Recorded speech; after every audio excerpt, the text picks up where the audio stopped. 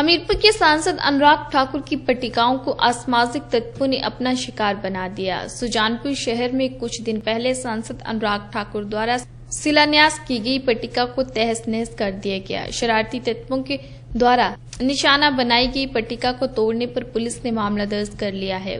वहीं पुलिस के द्वारा प्रारंभिक जाँच में पट्टिका को तोड़ने के लिए शरारती तत्वों की बजाय आवारा पशु बताए जा रहे हैं, लेकिन फिर भी पुलिस गहनता से जाँच में जुट गई है।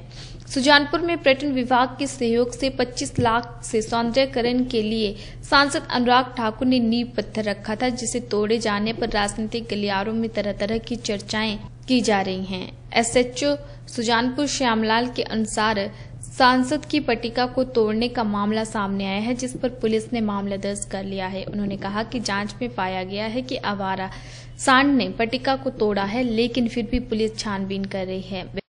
ये जो पट्टिका टूटी है, दरअसल में हमारे ध्यानार्थ बात नहीं थी, पर 28 फरवरी को कुछ समाचार पत्रों में ये मामला प्रकाशित हुआ था।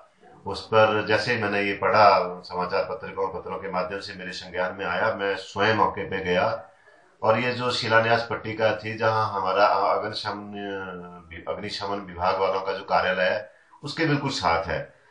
तो मैंने जाँच में ये पाया, जो अग्निशमन विभाग का एक ड्राइवर था, वो भी सुबह के वक्त तैयार होके बैठा था ड्यूटी के लिए। एक हमारा होमगार्ड का जवान ड्यूटी जाने के लिए तैयार था, क्योंकि सताईस तारीख को जो राज्य, जो राष्ट्रीय स्तरीय राष्ट्रीय स्तर का हमारा सुजानपुर का होली मेला था, इसका शुभारंभ था और उसके लिए माननीय मुख्यमंत्री महोदय का आगमन था। तो इन दो लोगों के अलावा वहाँ जो स्थानीय दुकानदार है, उन्होंने ये देखा कि जैसे हम लोगों ने रोड वगैरह खाली करा के रखे थे और नगर में जो आवारा पशु थे तो एक आवारा पशु सांड को हम कहेंगे काफ़ी भारी भरकम सांड था तो वो जाके उसके साथ रगड़ रहा था, अपनी बॉडी को रगड़ रहा था और उससे वो गिर गया। और मैंने मौका पर जो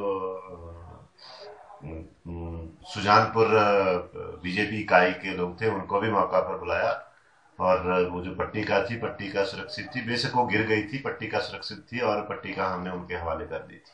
पर उसमें कहीं से भी ये नहीं पाएगा कि किसी ने उसको तोड़ा हो या जानबूझ के ऐसी कोई शरारत करी हो सिर्फ़ पशु के द्वारा गिराया गया एस के लिए सुजानपुर से राजन मेहता की रिपोर्ट।